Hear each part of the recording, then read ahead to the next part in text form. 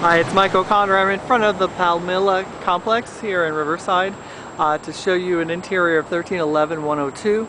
Uh, this is the main driveway entrance. I'm just kind of giving you the orientation of where the unit is from here. So you can see Iowa is down there at Massachusetts Avenue. The unit in question is the lower level on the corner here and 1311 is the building. You do have a walkway along this side with um, a little bit of clearance between your um, patio which is behind here, and um, the walkway.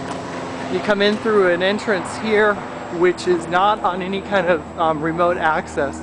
It is typically locked. I've left it propped a little bit so I can get in right now. Um, one of the things I did notice about the outside of this unit is a little bit of water damage um, from sprinkler system, presumably, in this section. I'm guessing that that is maintenance for the association uh, that's here. Your level, uh, your unit is down here on the lower level. And um, this is your window for your um, living room area. That's the window for the kitchen. And this is how you come into the unit. So you're kind of um, greeted with a small dining area with this um, ceiling fixture. And then your living room around this side. It has a couple of windows here. And then an access point out to the um, patio. You do have a large storage unit that comes with this unit. Oh, I locked it. It's deep though. You can see how far down it goes on this wall, so it's a deep closet. Uh, there are two units. I believe this is the unit for this um, unit uh, as far as air conditioner. You can see you do have this enclosed patio area. The unit for upstairs, which I think is that unit, is down inside your um, gated area. You do have this uh, paver stone. Uh, you do have a water um, gutter that comes from up on the roof up there. And then the small patio area. That window there is your uh, master bedroom uh, window. Coming back in, I find that it's, uh, it, I think it's all new paint. It looks like new window coverings. It also looks like new carpet. Uh, I might be mistaken on it. It is definitely not very much on wear. Unfortunately, the power is not on right now, so I'm not able to give you a lot of light to see.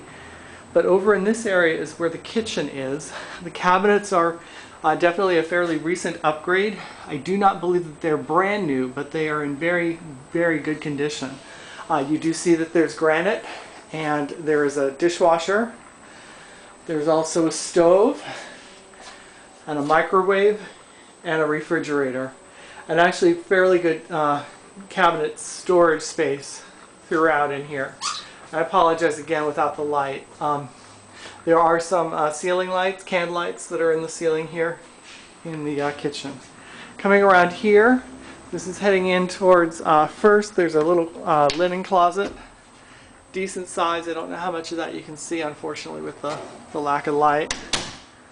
The master bedroom is over here. As you can see, there's another linen cabinet over here, which is uh, newer cabinetry. Uh, large closet with mirror closet doors. I noticed that the rollers need to uh, be replaced. It's a minor uh, repair that can be done. And then the master with the window for the master bedroom. Uh, there is really no, um, there's very little noise that's in here with um, that window closed uh, coming from the street. You are kind of insulated in because if you can kind of see a little bit, you can see how you're wrapped around from the, the street. The street is to the left behind that fence with the walkway that was there. And perhaps you can see a little bit of the store uh, that was across the street. Coming back around, uh, your, your bathroom is right here. It is an, a remodeled bathroom. It has the same upgraded, uh, newer cabinetry uh, granite counter. Uh, there's a nice mirror, uh, medicine chest. Uh, there's also a tub, which I don't think you can see unfortunately, and um, uh, toilet. Um, the property looks like it's in very, very good condition. Just move in. Uh, I need to have a full inspection, of course. I need to make sure that the utilities are on for the inspection on Thursday.